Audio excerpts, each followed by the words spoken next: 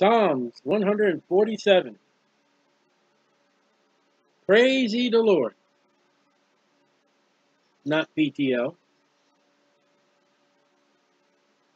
Look at Psalms 148, verse 1. Praise ye the Lord. Psalms 149, verse 1. Praise ye the Lord. Psalms 150, verse 1. Praise ye the Lord. At the end of Psalm 150, praise ye the Lord. At the end of Psalm 149, praise ye the Lord. At the end of Psalm 148, praise ye the Lord. At the end of Psalm 147, praise ye the Lord.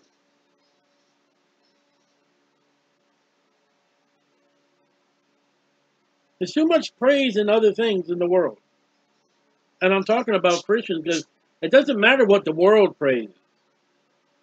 Because the Bible tells us the world hates Jesus. I'm talking about Christians. When the Bible outright reads, Praise ye the Lord, praise ye the Lord, praise ye the Lord, praise ye the Lord, praise ye the Lord, praise ye the Lord, praise ye the Lord, and praise ye the Lord.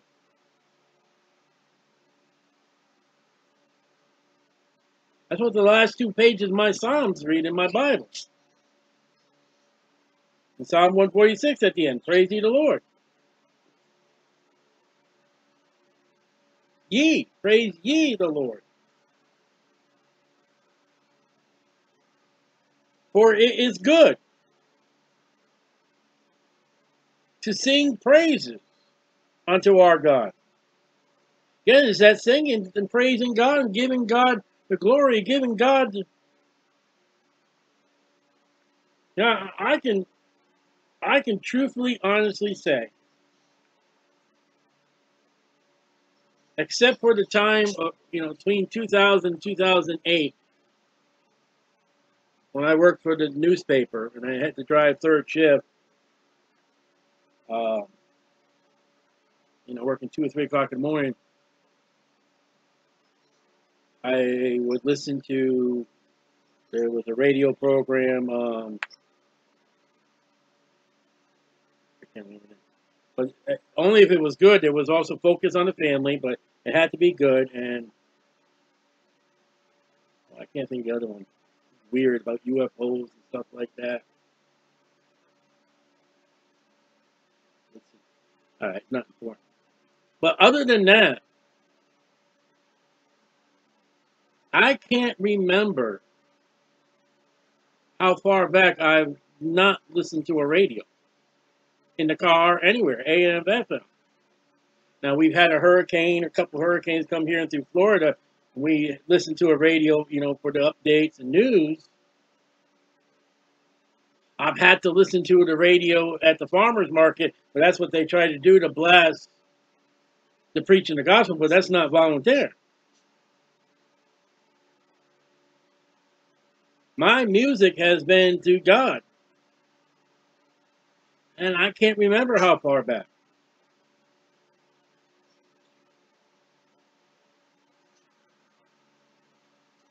I wonder what happens if I, if you were to give me the keys to your car, go out your car and turn the ignition on. I wonder what's it, I wonder what's would come out of those speakers. In contemporary Christian music and rock and for Jesus and rocking Christian church and rapping for Jesus, that's not music in God's ears. For it is pleasant, has to be pleasant music. And praise is common. It ought to be common. We ought to be thanking God. We ought to be worshiping God. We ought to be honoring God. The Lord does, present tense, build up Jerusalem.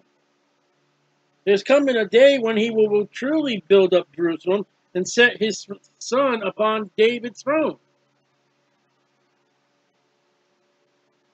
And gather and gather together all gather together the outcasts of Israel. And that's the second advent. When Israel will gratification and praise the Lord for saving them, giving them a new heart and cleansing them.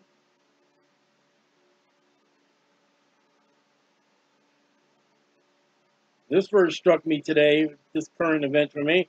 He has healed the broken in heart and bindeth up their wounds.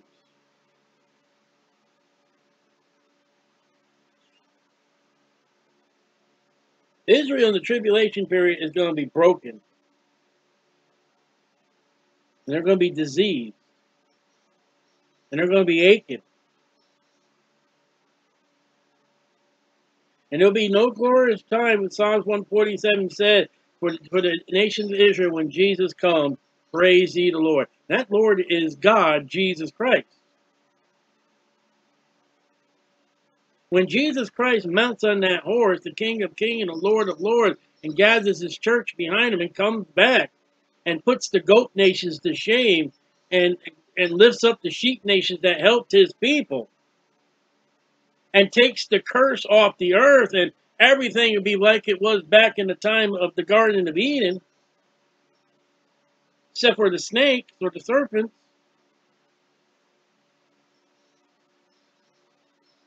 And they'll all know Jesus. And there'll be no need for street preaching. There'll be no need for gospel tracts.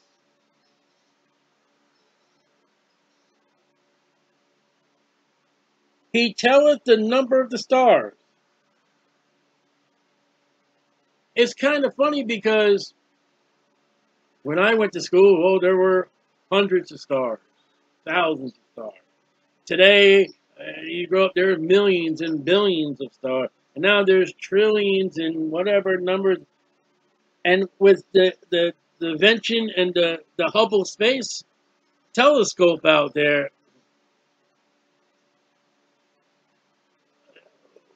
we don't know how many stars there are.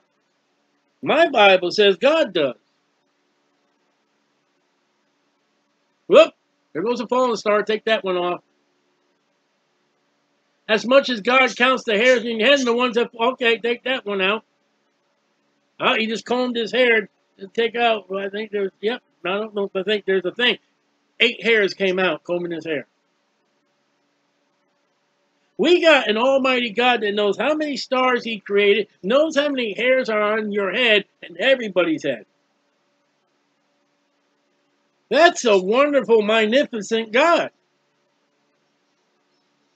I wouldn't mess with that God. And he calls them all by their names. It was funny, funny about the time like I said, when I was listening to the radio, I worked third shift at the newspaper, and one it was so funny. One of the the advertisement would come on was I forget the name of, uh, but you could purchase a star and give it a name. So you could pay this company for a star, and they give you a star track, a star chart, and wherever that star was, and that star will be called by that name you paid for. And God's like, that ain't the name of that star. I named it. I mean, there are stars up there right now, the constellations that uh, men have called names. And there are in the Bible names of some of the stars. But God has names and knows them all in the entire universe. And the Bible goes forth to say those stars are probably angels.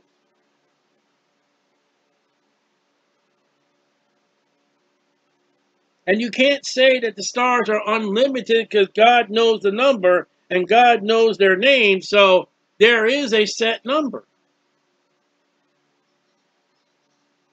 And it's a number that's beyond the number of man. And yet God has a number, and not only does God have a number, but he has a name. And he knows those names.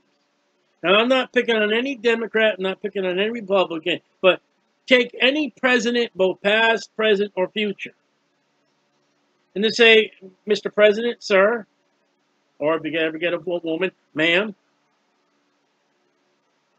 Now think about this. Think of this. With the current population of America as it is right now, sir, or ma'am, future, as the President of the United States, can you tell me all the names of the people that live in your country? No. And I guarantee whoever the president is, past, present.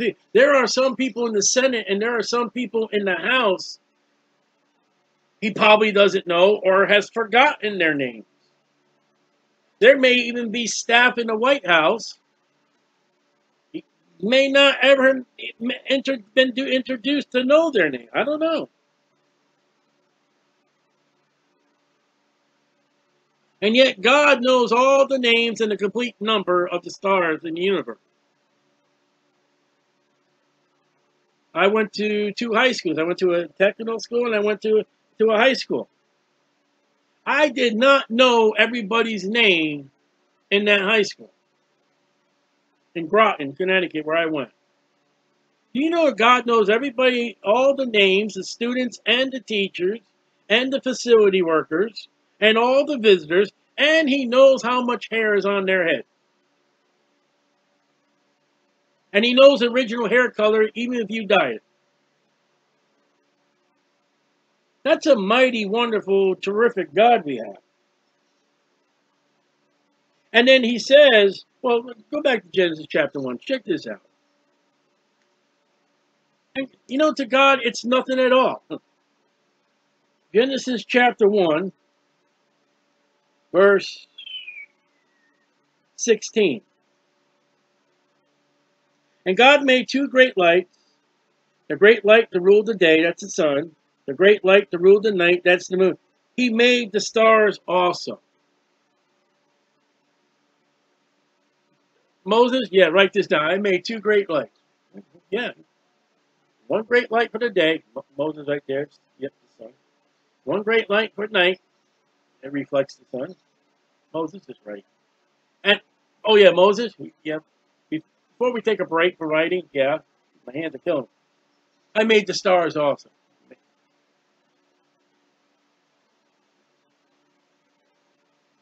And that Hubble telescope, I'm going to say monthly, is coming back with new footages of pictures that what we did not know.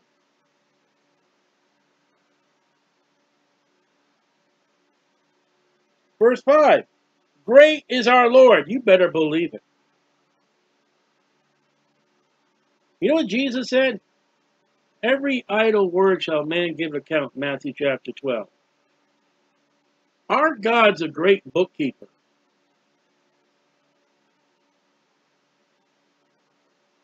And you better be knowing, according to the book of Numbers, and particularly Numbers chapter 7, and Chronicles, our God records everything.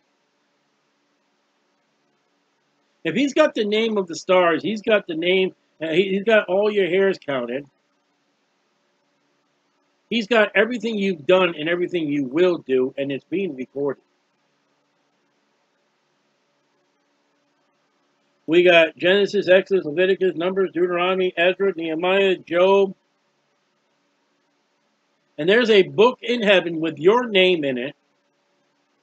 And it don't have chapters and verses. It has date and time. On August 21st, 2020 at 3 o'clock p.m., fill in the blank. At 3.23 p.m., I don't remember what I did. God did. And if it's a sin or a transgression or iniquity, the only way it's going to erase that out of the book is if we confess our sin. He's faithful and just to forgive us our sins and to cleanse us from all unrighteousness. Cleanse us when he wipes it out of the book by the blood of Jesus.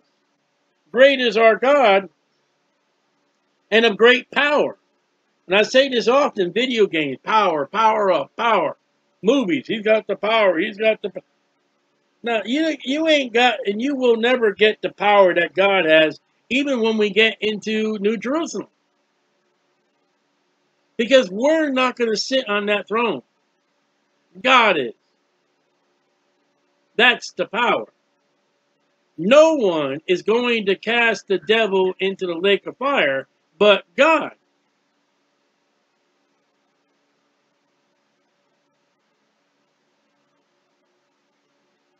And someone told me, you know, rebuke the devil. You don't rebuke the devil. You flee from the devil. I I ain't got the power to rebuke the devil. I ain't going to mess with the devil. He comes messing with me, I'm just going to turn him on God.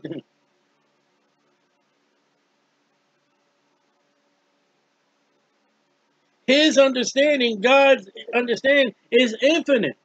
As much as it, he knows all the stars. I don't know how many babies are born at this moment today on this date. Yet God knows them all, and God knows the funerals of all the people who died this day.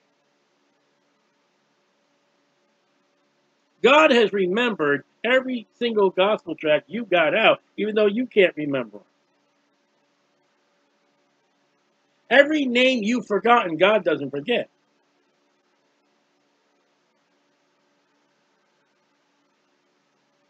There's a hospital behind me right now. And with COVID 19, I don't know how filled it is, but hospitals are pretty much filled.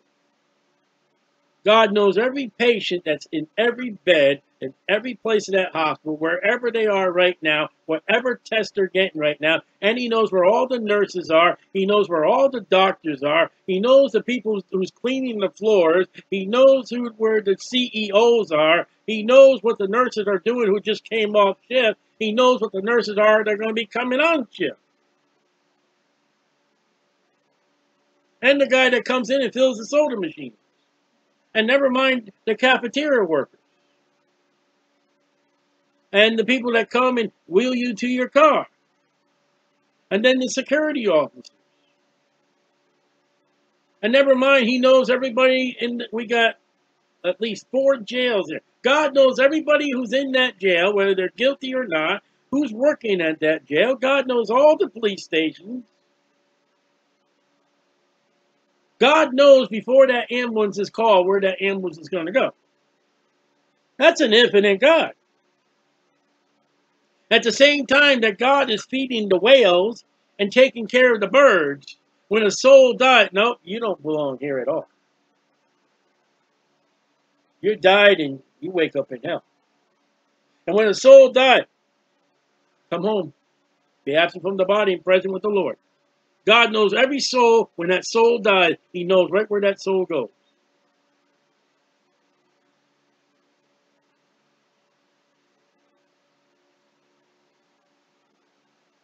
We're not going to do the farmer's market ministry because I got a problem with my foot. God knows that.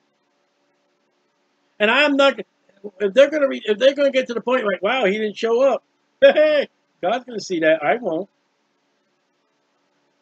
And somebody's sitting there, you know, that, that, that preacher, he didn't come today. I, ho I hope he's okay. I hope everything. God sees that too.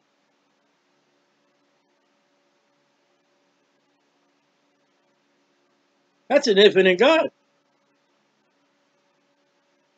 God's in the house of the person that's crying from affliction. And God's in the house of the one causing affliction.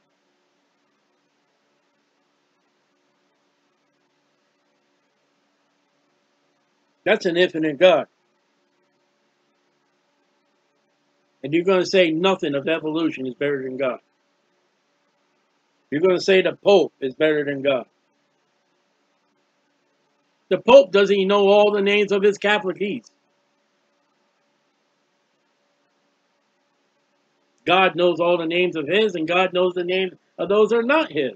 God knows the names of all the stars. Never mind the planets.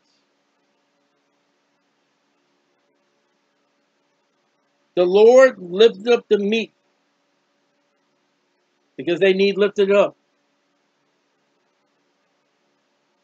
And when the Lord lifts you up, that's honor and glory. That's not pride. He casts the wicked down to the ground. Isaiah 14. When Lucifer fell, there's coming a time that the Antichrist will be down on the earth in the tribulation period. Revelation chapter 12 says the dragon's kicked out of heaven. We're in the tribulation period. We're in the second advent of Psalms 147. Sing unto the Lord with thanksgiving. We were a Christian nation. We gave God one time a year out, out of the government. We gave God one time a year to get the family all together. Praise God. Thank God for the bounty. Now if you're a superstore, you got to have your employees hurry up and get to work before the Black Friday comes along. It's amazingly sick, and I don't know what God will do. But the fact is, if you got to work in that superstore and the CEOs are home glutting themselves, My thing, if I was in charge of the government, I don't want to charge, if I, hey, you you want your store open on Thanksgiving, your butt better be there right there too. And you've ever shaken hand with your employees, and grabbing that they're coming in on a family holiday that's given to God, and you better explain to God why your employees are there. J.C. Penney gave gave his employees days off.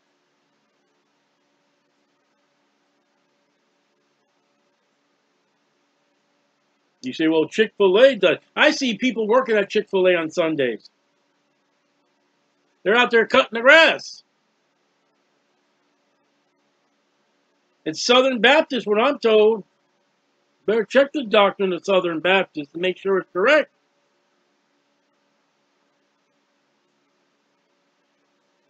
I wouldn't take the name given amongst men whereby you must be saved or, and give it the name Jesus Chicken.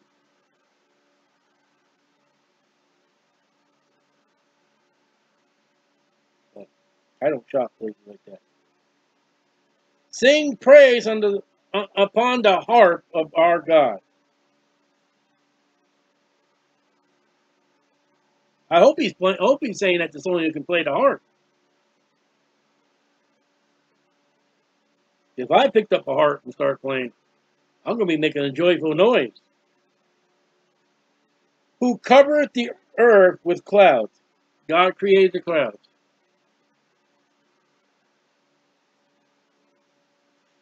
who prepares the rain for the earth. I thought the weathermen did that. You see, we got the cold front coming down here with this big arrow. Says we're going to get. Uh, uh, they came across. All Florida prepare for Hurricane Isaiah. Used to be Isaiah, but they changed it. Oh, oh, we named the storm after a book of the Bible. Quick, change it. And all Florida was to be prepared, and everybody ran to that hurricane just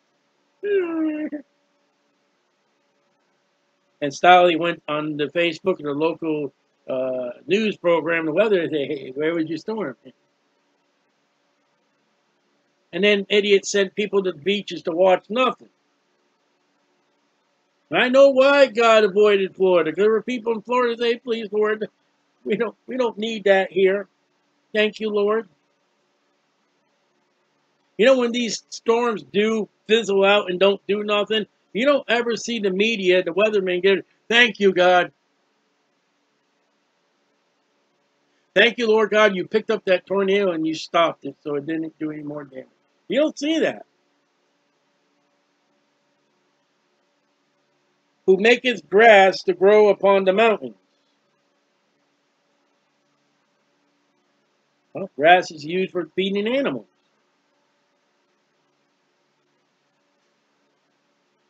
There are people in Florida that make tons of money down here, and almost every fourth trailer down here in Florida is a trailer that's got some kind of lawnmower or grass cutting service.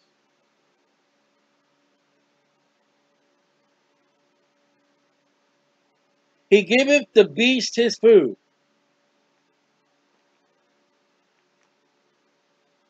And to the young ravens which cry. What about the whales? Save the whale. God take care of the whales.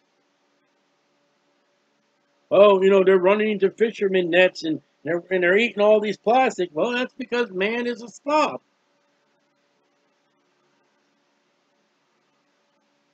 All have sinned come short of the glory of God. We're great America. We love everybody, but we, we, we crap everything on the earth.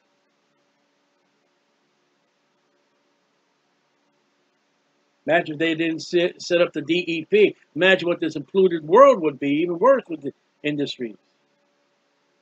Man is a pig.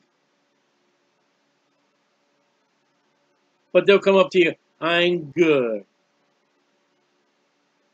In the back of my head, I don't say it, but you're good for nothing. That's what you are. He delighteth not in the strength of a horse. God has no thrill in horsepower. Look at these mighty races. Look at these big trucks.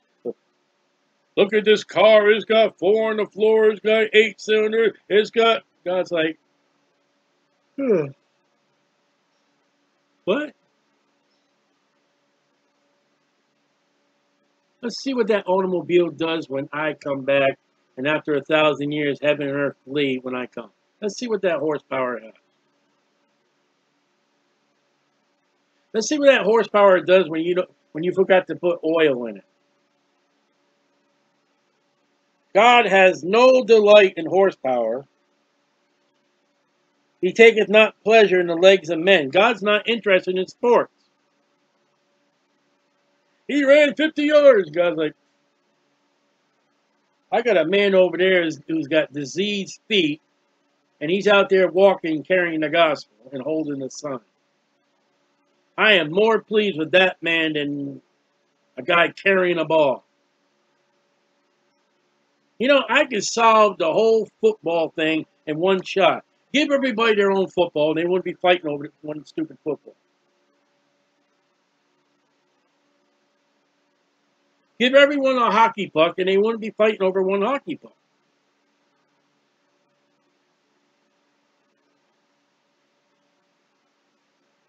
Really?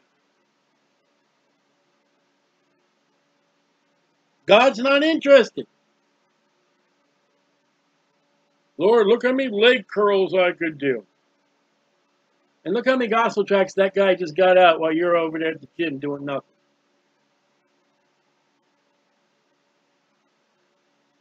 And you're fixing that body up. You're getting those muscles all tightened for a coffin. And it came to what? All that exercise, all that good food, all that money you put into that is going to be wood, hay, or stubble. The Lord taketh pleasure. Oh, let's see what the Lord that takes pleasure in. In them that fear him. You know, God's not pleased with America today.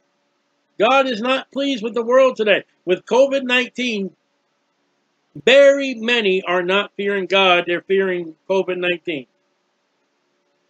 We seen a woman today in the store. She's wearing a mask and she's wearing a face shield.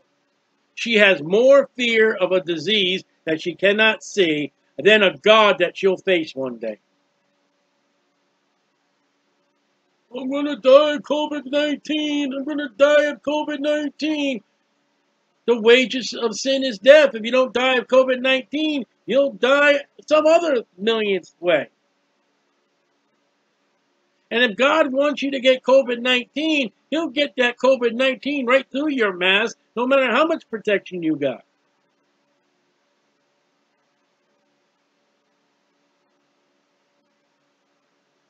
And those that hope in his mercy. I fear God and say, God, please don't let us get COVID-19.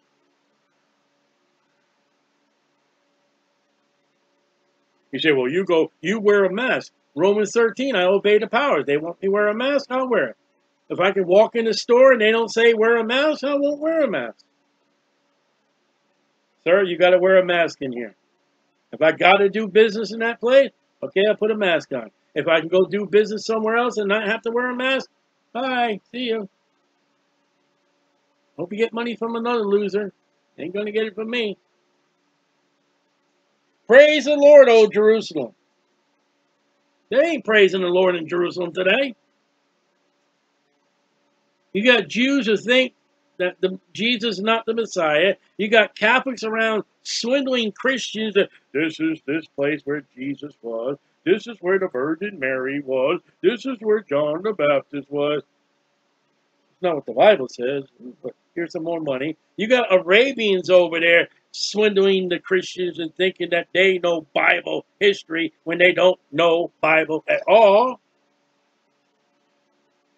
We're going to tell you that you go over there, Catholics or the or the Arabian. We're going to tell you where the footprints of Jesus. Excuse me.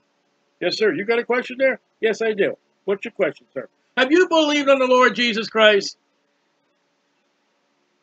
Oh, no. I eat the mass. You know what you tell me about the footsteps of Jesus? You don't know Jesus. Shut up.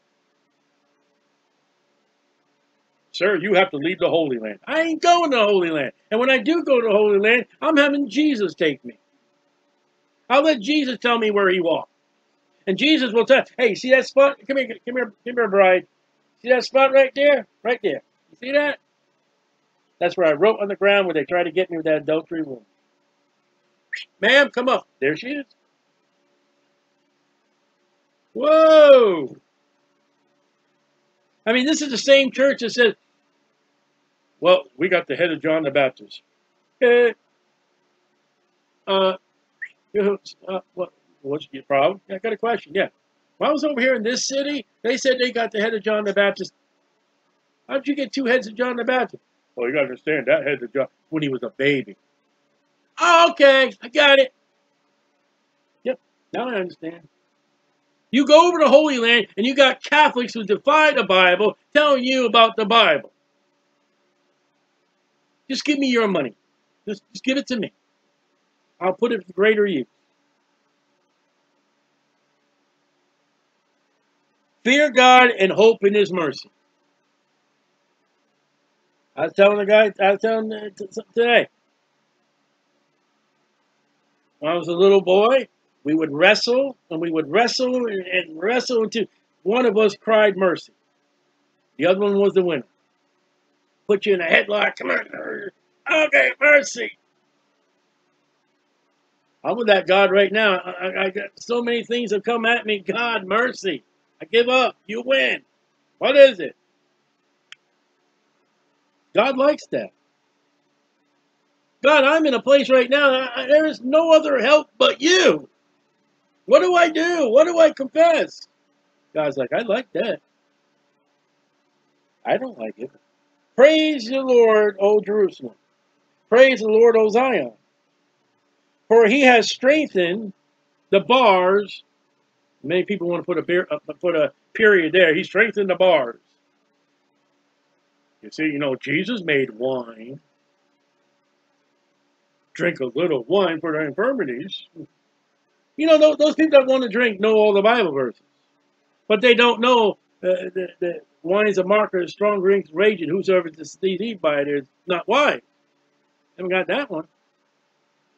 Strengthen the bars of thy gates. You're not talking about bars when you get drunk. Talking about the bars and the gates of the city. When Jesus Christ seals the city of Jerusalem, it will be sealed. He has blessed, made happy the children within thee. That's second advent. He maketh peace in thy borders. That, that listen, the, Donald Trump is making peace in the Middle East. Someone, devil don't want me to say what I'm going to say. Someone says, Stalin, what do you feel about Donald Trump making peace today with Israel? With the UAR and there's other peace. I, I, I got two points on that piece. And I got the guy very angry with me. Number one, that peace is not going to last. Jesus said the peace of the earth doesn't last. There's coming one peace, that's Jesus Christ. And the guy said, oh, okay, well, what's peace number? You know, he's Donald Trump peace. It has to last forever. Donald Trump's not Jesus. Well, what's number two? I said, you're not going to like number two. Well, what's number two? I'm giving you a warning. You don't like number two. And I'm saying it as a suggestion according to Revelation 5 or 6, I forget which chapter it is, 5 or 6, the Antichrist is coming in peace. And he's going to break that peace in three and a half years. If that's the peace you're looking for, then Donald Trump is the Antichrist. Whoa, did I get, ang did get angry me. I'm not calling Donald Trump the, the Antichrist, but either that peace in Israel is going to die, it's peace treaty number four now with the UAR. There have been three other peace treaties. This is number four. Why would you need four? Because the other three failed. And this is the ultimate peace that's spoken about in Revelation. Oh, pack your bags, get ready. Donald Trump sending us home. I am not saying Donald Trump is the Antichrist. But if that is, if there's that great peace plan that comes out of the Middle East with Israel, woohoo! We're out of here. And if it fails, fails like every other peace treaty in Israel. You're not happy that Israel's going to be at peace. Israel will only be at peace with Jesus Christ on the throne. When his enemies are cast into the lake of fire by Jesus Christ. And those nations during the tribulation period, the sheep nations that helped the Jews, will be allowed in the millennium and enjoy the fellowship with the Jews and Jesus Christ. That's the peace I'm looking for. He maketh peace within thy borders and filleth thee with the finest of the wheat. The wheat without curse. Well, what's the wheat without curse? That'd be like a tomato plant without no curse. You say, well, what's a tomato plant without a curse? They grows up and they're already red and ready to eat. I don't know. That's that's my that's my millennial thing of tomato plants. They grow up and they just got oh this tomatoes and they're all red and they're ready to grow up. Oh, I can't wait. The millennium is where all the curse is taken off the earth just as much as it was with Adam and Eve before they fell. There's going to be so much wheat, they're not going to know what to do with it. Thank be to Jesus. He sendeth forth his commandment upon the earth. His word runneth very swiftly. You know the word has legs?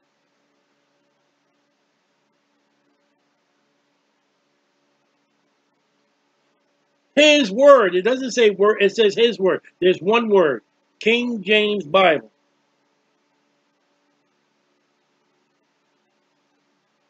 He giveth snow like wool.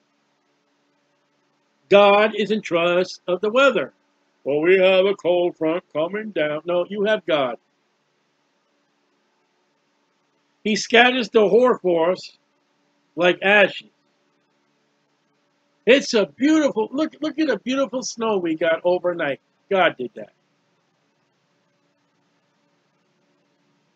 He causes his ice like morsels. Who can stand before his cold? You know, snow has stopped armies, and I'm talking about mechanical armies. There have been Russian tanks that have been stopped because of the wintry conditions. There has been armies of horses, verse number 10, that have been stopped because of God's snow. Work stopped. School stopped at God's snow. And what is snow? This water particles of cold.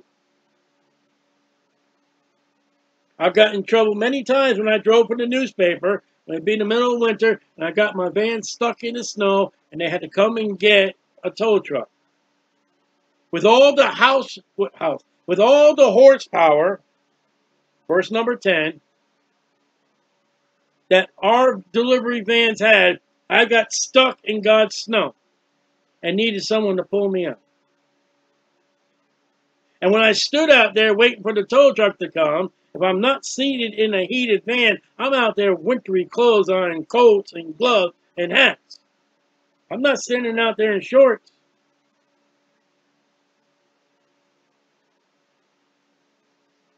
He sendeth out his word and melted them. I don't know who that's talking about.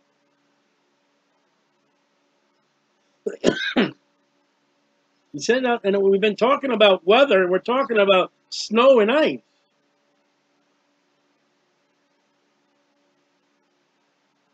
He causes the wind, so it's still the weather. to blow and the waters flow.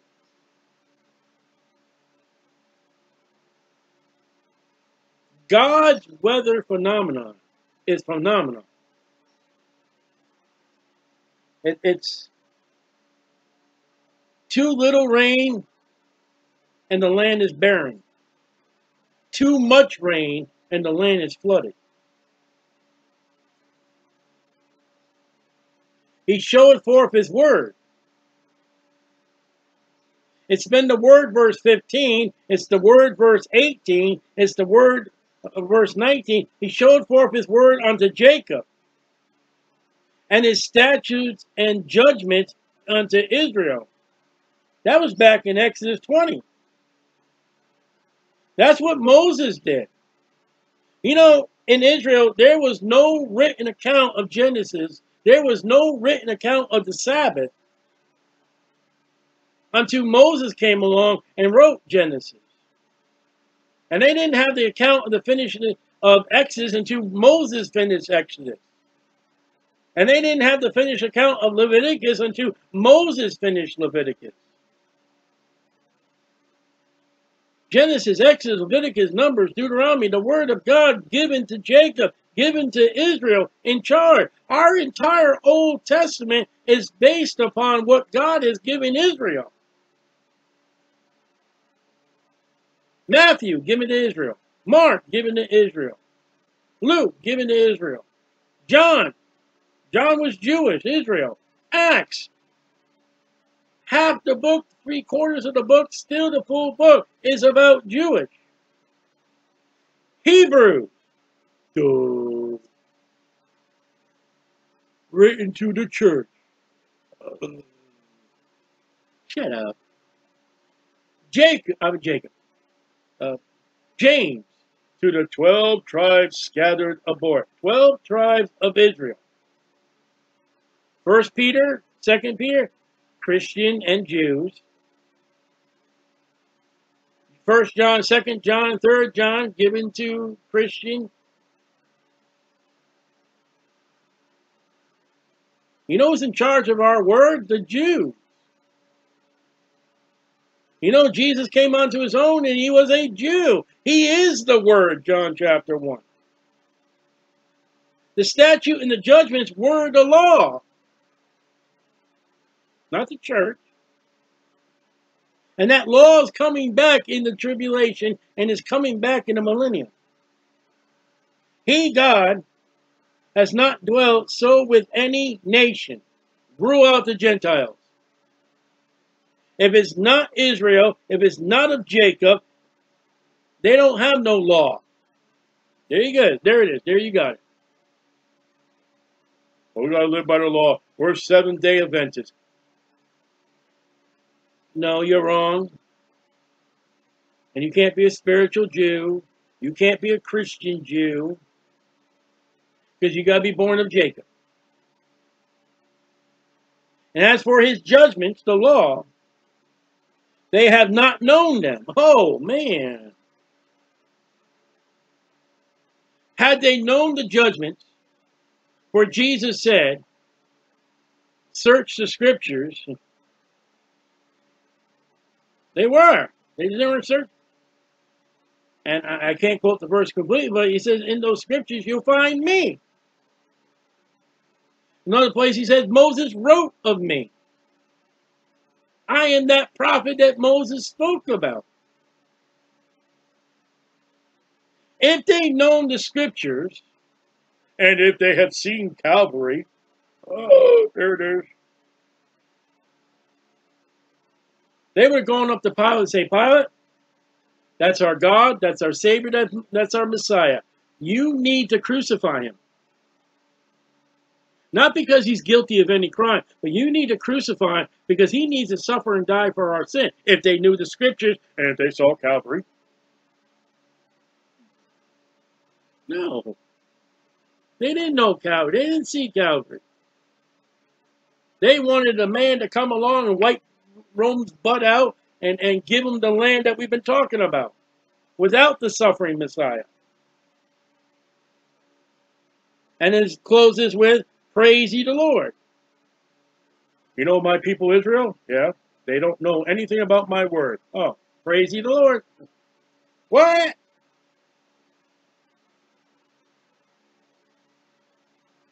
One day they will know the word.